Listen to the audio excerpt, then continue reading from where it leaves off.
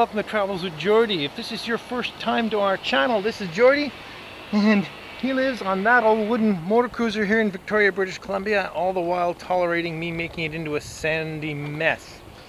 Anyway, if that's the sort of thing you might be interested in, consider sticking around and subscribing. We'd love to have you aboard. Hey, Pop!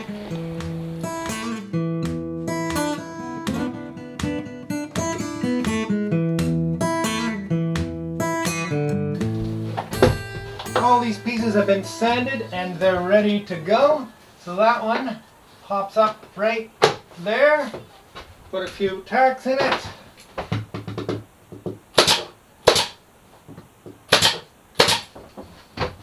Next one, port side, port side. Goes right here.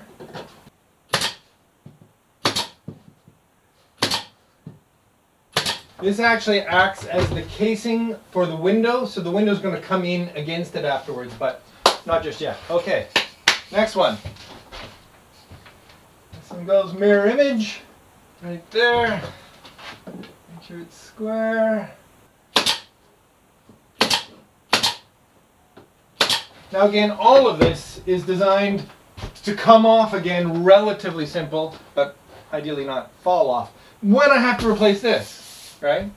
Okay, so uh, what do we got? We got a few more pieces here. We got the uh, trim piece over here with the wire in it. So we run that through there, there. Done. So this one goes right in here. And this one goes here.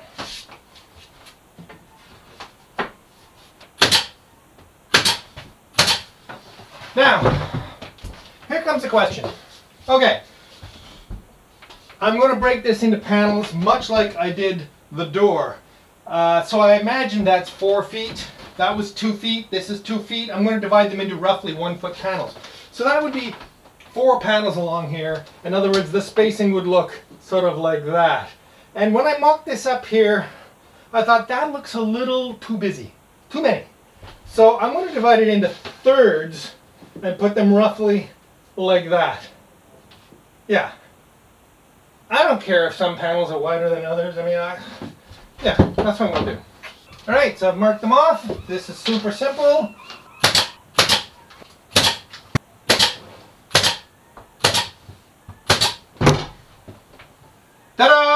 Okay, so what do I got to do? Uh, uh, put some screws in. Need some screws and some bungs. Always, always more to do. Okay, then we got nine, nine, and nine. Perfect. Okay, drill some holes. There's no sense putting any screws through here because they're just screw into the window frame.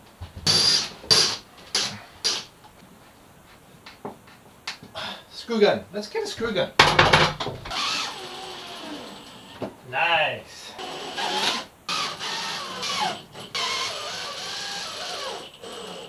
Beauty. Because this is interior work and because it's possible I'll have to take this apart in the not too distant future, I'm going to fit the bungs dry. Now of course they're a friction fit, they're holding, they're not falling out. Plus by the time I get some oil and varnish on that, it'll help seal them in. But it does mean that if I ever need to take them out, it'll be super, super easy. So these are my famous uh, lined up bungs that make it super easy to line up the grain. Basically, there we go. Pop a few of these in. Alright, tap these in. Alright, and the neat thing about not gluing them is you don't have to wait for them to dry. So we can cut them off straight away.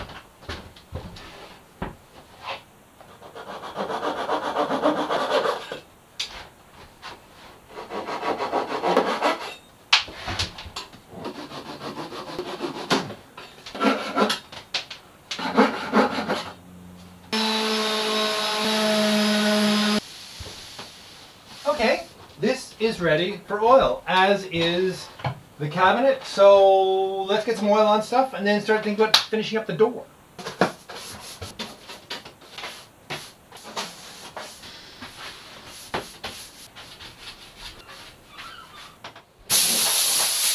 Okay, let's go. What we've been waiting for. I love to see the oil come onto this.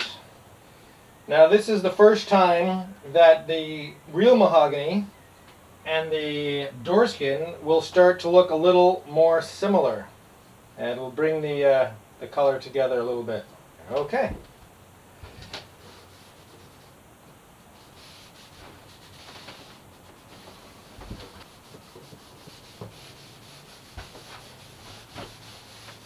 Good God, that's beautiful. Okay.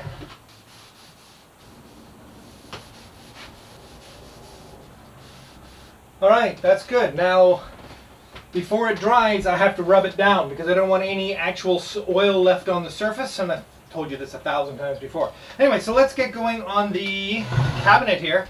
And uh, by the time that's done, I can rub that down.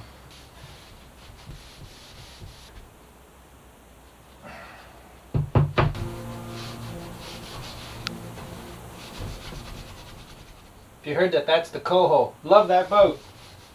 On its way to Port Angeles in Washington State.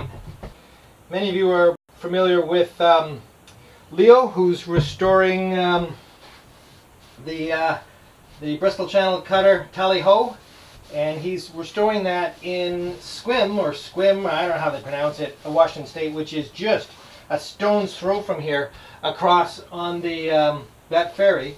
And I keep thinking I've got to find an afternoon to go over and say hi to Leo because it's fantastic stuff he's doing over there. For those of you who aren't familiar, um, this is tung oil. and um, I didn't think of mentioning it because I've talked about tung oil so much in the past on this channel. Um, it is a fantastic first coat. Uh, it is not a suitable um, final finish for anything on a wooden boat, inside or out, because it is really not very UV stable.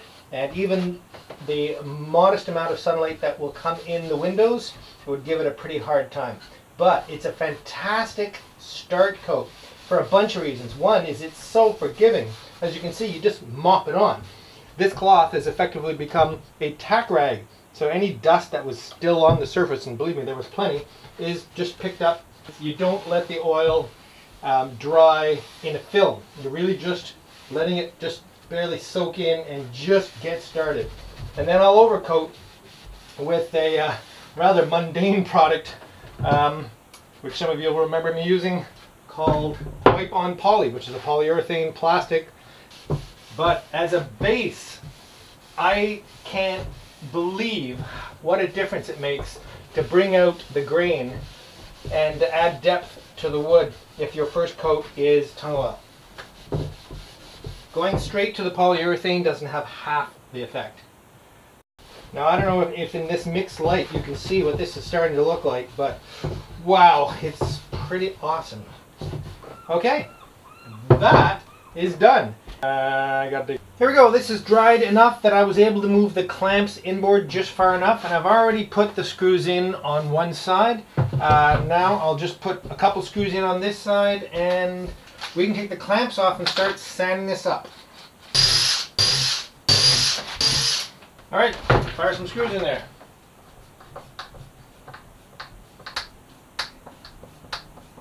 Very nice, okay. Done with the clamps. And that should be a relatively secure and strong doorway. Door thingy, what do we? Okay, so now there's a couple steps to be done. Um, gotta sand it, make it all pretty, clean up the edges, make sure it fits, make sure it's still square. But more importantly, I have to rabbet out a dado so I can set the glass into it. Now, if we imagine this was the front side, I'd be rabbeting it out from the back all the way through to leaving maybe a quarter of an inch of wood left. So the glass would sit back a quarter inch from the front face maybe a maximum of a quarter of an inch of glass when it's stained glass, which it will be someday, giving me a quarter of an inch to put a tiny little bead of wood and some tiny pins to hold the glass in. In the meantime, I'm putting plain glass in because I don't have the opportunity to go and get any uh, leaded glass made up.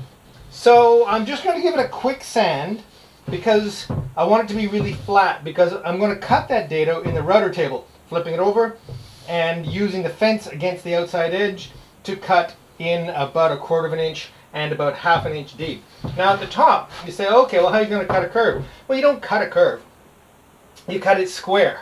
And the glass is square, or rectangular anyway, and it sits in the slot. So from inside the door, the glass is, is straight. When you look at the door from outside, it appears to be curved, but the glass is actually straight across inside.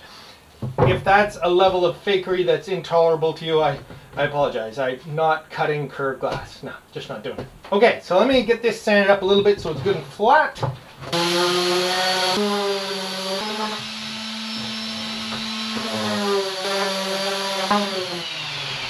Okay, well that's basically just to get it flat enough that I can do the next step of the work because as you know I consider levels of equity to be sequential and I don't want to be working too hard about making this perfect and then screw it up when I route the dado which is the next most dangerous thing to do.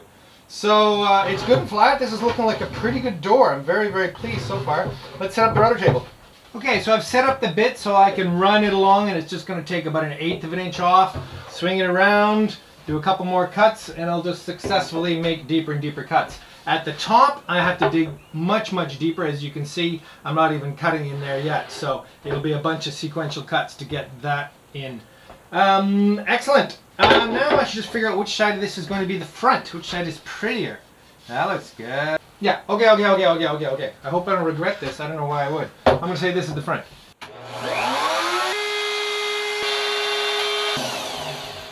All right, excellent. So the first cut is super stressful because that's where I could do a blowout, but I have a perfectly clean eighth of an inch dado in here now, so I can't really do any damage deepening it. You start right about there.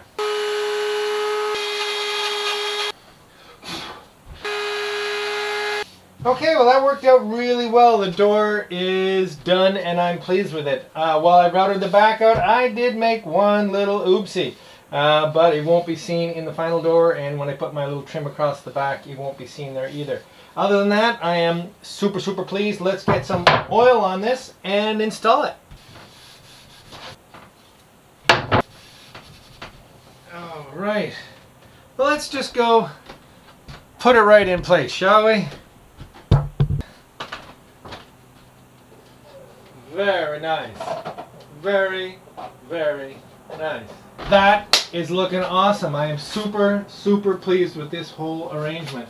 We are going to finally wrap up this uh, aft bulkhead in the wheelhouse project, including the glassware cabinet. Everything here I am just so thrilled with. But it's time to finish it up, get some finish on it, get some glass in here, get some hinges on, um, wrap that up today. That won't take too long. We have a couple of other things we need to do. Uh, one thing I do want to point out, the melted uh, LED overhead light fixture, there seems to be some confusion. This is a temporary work light fixture. You can see it's temporarily screwed to the overhead and uh, some paper towel here to keep it from damaging it. It's not intended to be a permanent fixture on the boat.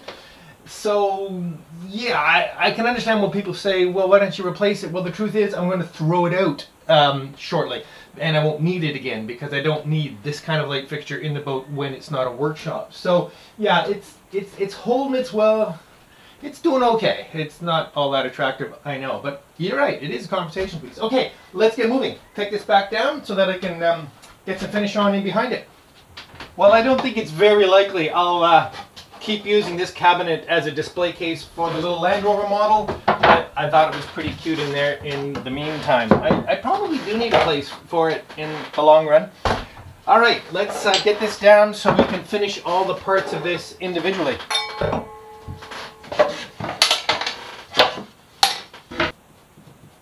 And that basically just pops off like that for now. Anyway.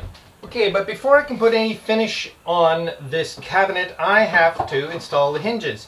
And uh, as some of you may know, that's my favorite little job. Uh, I don't want to put pencil marks on here anymore because this has now uh, had some finish on it. So I'm going to say, I'm putting these uh, sadly cheap little brass plated hinges on here because my favorite supplier of nice solid brass hinges, Lee Valley, is out of stock. So I'm hoping that they'll be able to give me some hinges the same size.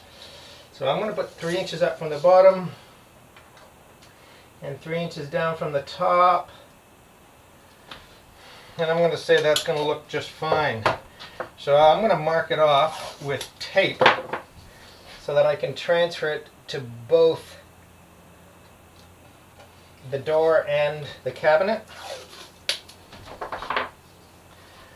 Remembering that I'm marking it at the top and the bottom. Okay, I don't need these anymore. Okay, so basically I'll just cut the tape so it stays on both pieces when I take it apart. And um, I can then gain out these lovely hinges. Okay, so here we go. Um, cheap little hinges, but they'll do, as I said. So to make sure they stay square, well, let me back up a bit. For those of you who haven't watched me do this before, when I install hinges, I basically install them flat on the surface, drill the holes, screw them on, and then score out where it needs to be cut, uh, remove the hinge and cut them around the score. So that's what I'm going to do now. And the way I set a hinge 99% of the time is I just open it up all the way sit it against the face and that keeps it square and keeps a consistent depth so I don't have to worry about where it's sitting on here. So that'll go right there, right there. And I'll use my little spring-loaded counterbore tool here. Now I'm just going to touch it because this is a bit big for number four screws. And we'll shoot a few screws in there. Alright, the other end.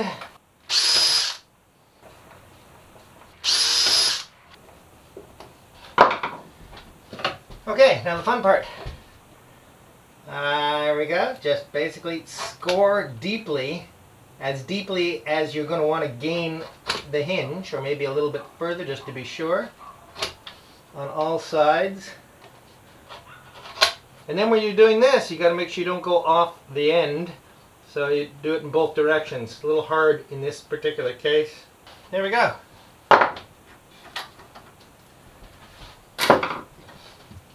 Okay.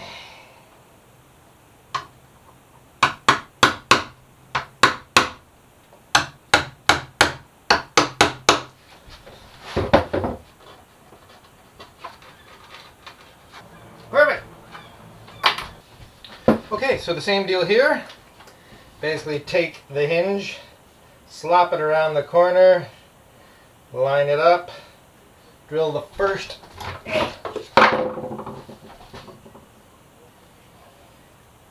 Is everything in the right place here? Yes, yes, yes, yes. Okay, drill the first one. Confirm it stayed square. It did. Good. Other side. Gosh, it got hot. You'll have seen I've changed my shirt.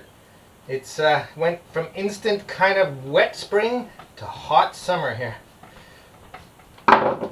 Okay, score.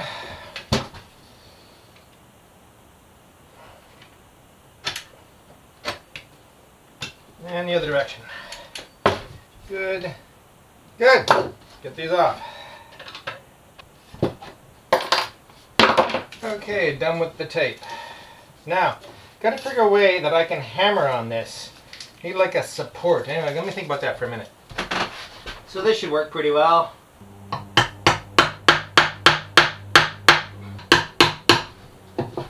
And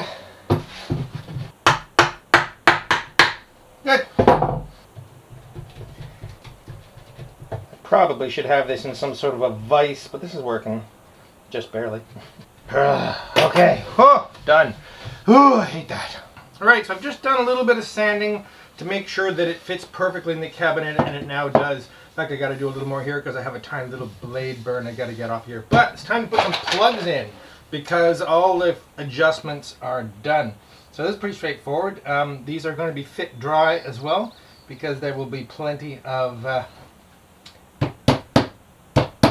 varnish and such to keep them in there. Super, super straightforward.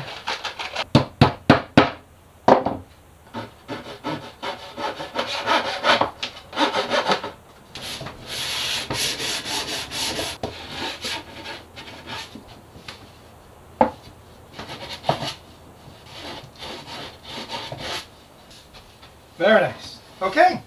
Okay, so I've had to do a couple other things in here, but it's now time for the Wipe-On poly on this bulkhead and the cabinet, which I actually put a little more oil on earlier uh, in a few places where I'd sanded it. So gotta wait for it to dry a bit. So let's get started with the bulkhead. Alrighty. I think I've mentioned before that this wipe on poly, um, again, this is not an endorsement. I just like this stuff.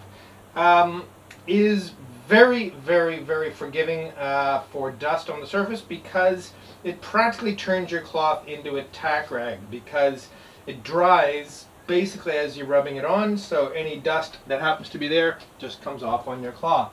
So let's just get started up here. You're not going to see a big change because after all the color was already darkened by the tung oil which I already put on but this will add some sheen and protection because the tung oil is no good. All right. Oh, it doesn't smell quite as lovely as tung oil, but it is awfully easy to use.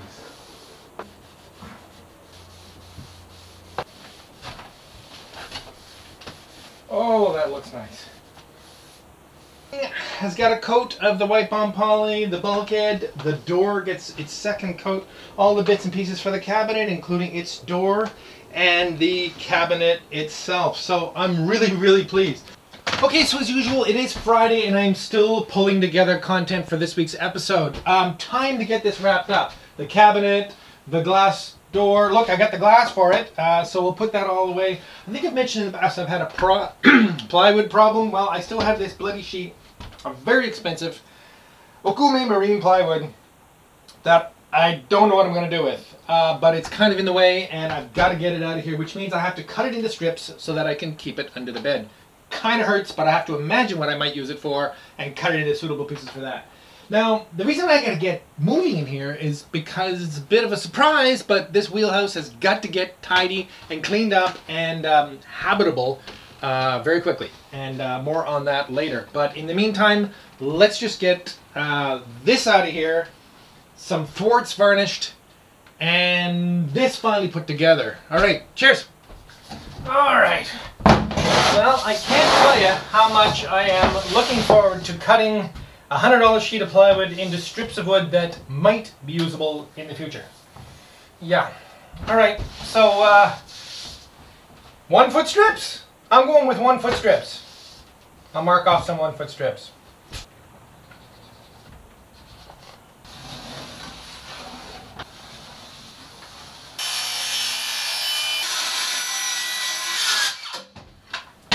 One,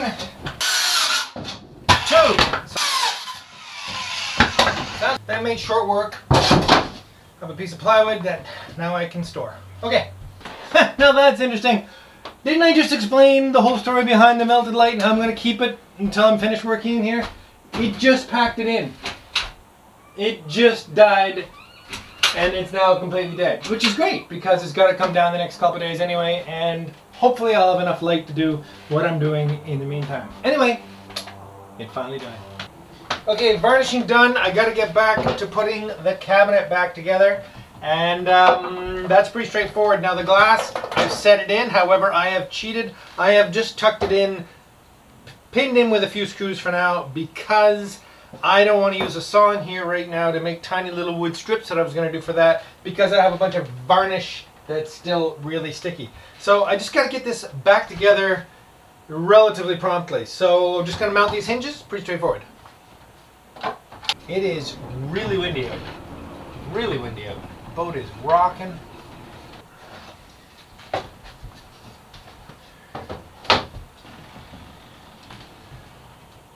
All right, now I gotta make sure this doesn't go right through, because it will. There we go, excellent. Okay, so what I need to do now is um, put a little screw in for a knob, because the knob I want, and I've picked the knob I want, is not available, it's out of stock. So I'm just gonna put in a tiny screw for now. I'm gonna be right there. Right about there is fine by me. Excellent. Now I have a knob to open and close it. Very elegant. Now, uh, to get back up on the wall.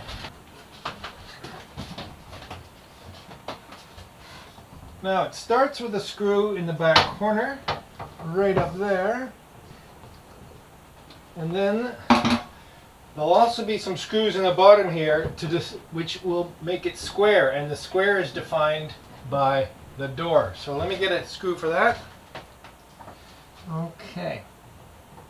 So I haven't actually put any of these screws in yet, so I'm just going to put it right about there and see touches a little bit of the button. Oh, there we go. Just air right there. Oh, that's lovely. Perfect. And another one on the other side. Okay, so to put the shelves in, I have these little struts, and I now have two different lengths of them because I modified them slightly. So the shorter ones go on the lower level. My gosh, this boat is bouncing around. And they just go in like that. Shelf. The next four with the little round edges out.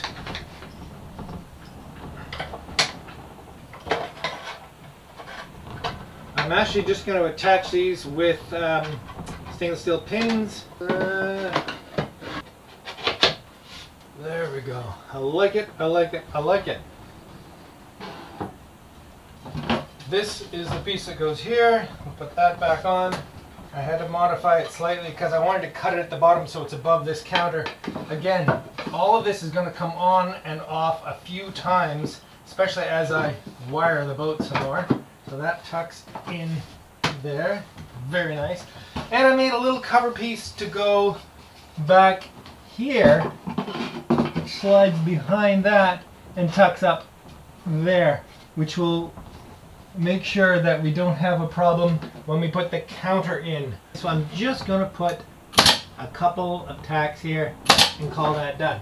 This piece, which carries the light switch, is going to take two more light switches. I just haven't set up for yet. So that's holding itself in. I'm going to put one little pin right there and call that done. That doesn't, because that's definitely coming out again.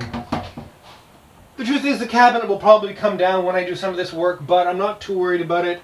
I'm happy with the heights, so I'm going to put a pin in each of the little strut. Hey, uh, I didn't really think about how I was going to get the gun in there. Let's, uh, we might have to take this apart to do this. Left-handed upside down, double trigger. Okay. Now the shelves themselves don't need any fastening because they can't go anywhere. Now, there may have been some confusion. Um, I definitely will be putting some supports on these shelves in the future to carry things like wine glasses. If you can imagine a small piece of mahogany that has a trough in the bottom of it. In other words, like a little slot. So as it goes in, it'll have two sort of fingers that will hold each wine glass so that they can't tip over. And likewise for groups of other glasses, there'll be dividers in here, uh, possibly with felt sides on them. Who knows, maybe. So yeah, but until I really get into using exactly how I'm going to use this cabinet, I'm not going to bother with those. And I'm not going to see for a little while anyway. Okay, so a couple more of these. Beauty.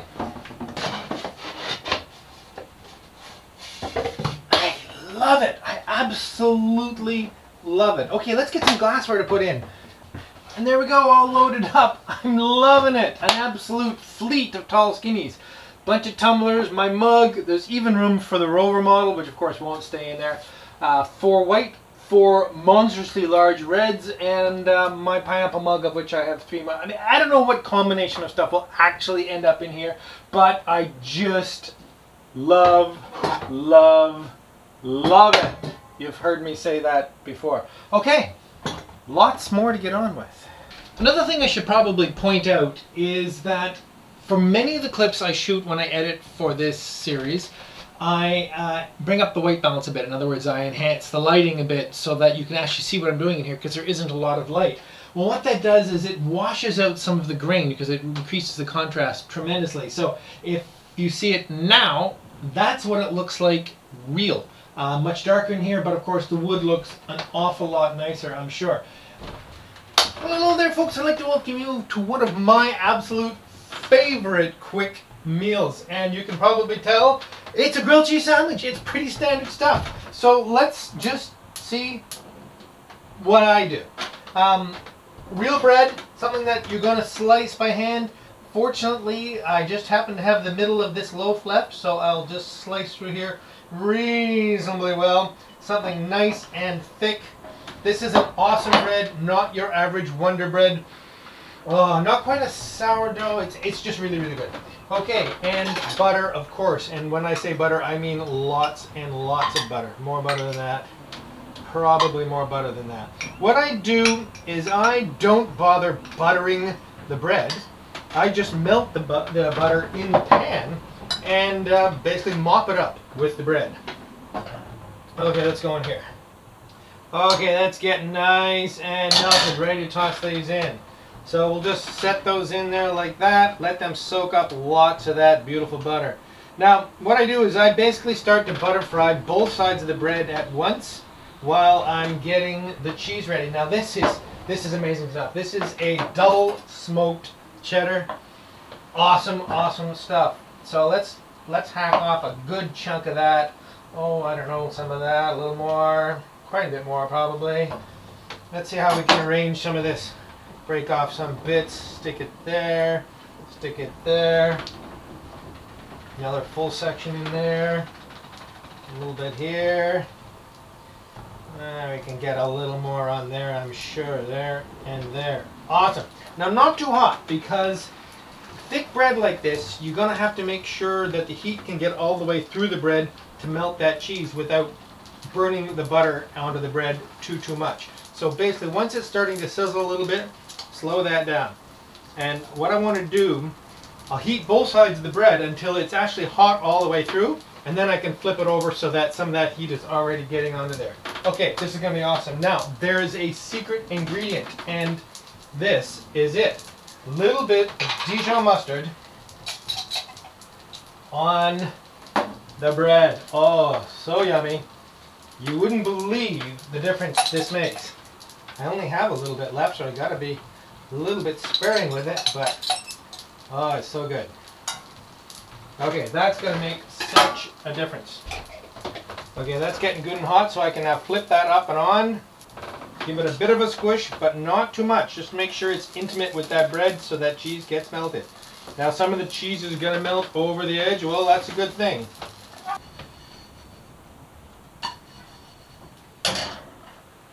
Okay, so now it's just a slow sizzle till the end. It is super, super windy out here today. We are bouncing around. Nice place to be cozying indoors just now. Okay, we're getting some nice meltage along the edge there. I would say this is pretty darn close. Yippee. Okay, so let's haul that out of there and call that done.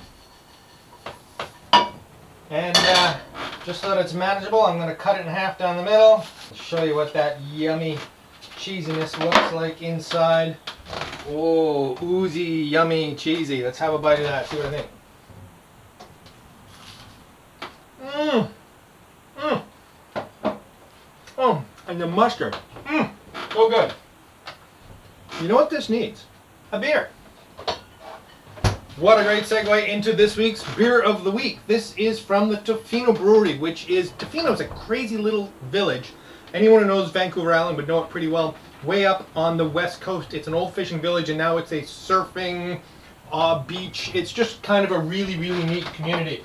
And uh, when I'm up there, I really like to have a couple of their micros from up there. This is their Blonde Ale, which is supposed to have an earthy hop note and a bit of malty sweetness. So let's get a glass out of my glass cabinet.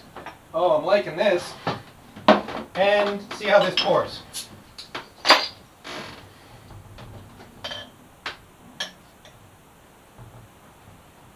Pretty much an ale, no doubt about it.